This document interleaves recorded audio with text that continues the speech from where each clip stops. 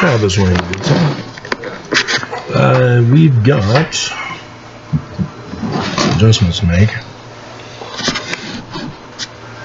Uh, a mystery session for October 2022 General Conference.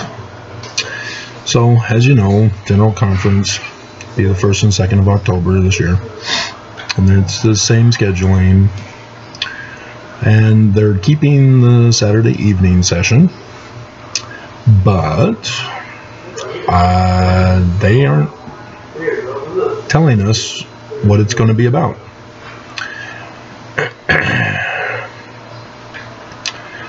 so they have a some questions here that all of us are asking, of course. Who is invited to the Saturday evening session? Not what is the Saturday evening session. October 2022 General Conference will include a Saturday evening session for all individuals, families, and friends. And that, that's it. And so it's just another session of conference. It's not specific to any particular group. At least they're not telling us yet. So, weird. And then they quote Oaks from his conference complaining about wanting to get rid of the women's session and, and everybody forced it to come back. Our Saturday sessions have a history of different purposes and different audiences. For now, this Saturday evening meeting is a session of general conference, not a session of any organization. All sessions of general conference, the planning, speakers, and music are designated by the First Presidency. Hilarious.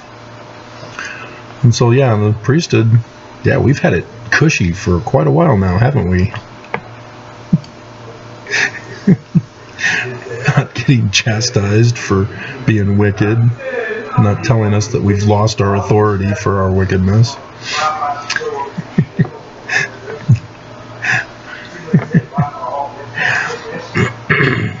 and so, yeah, it, it's a mystery. And of course, they have Jesus walking the goats. it's the painting. They have their backs turned to us. Jesus turns his back on the church. There we go. There's the thumbnail. There's the title. oh, hilarious. Okay.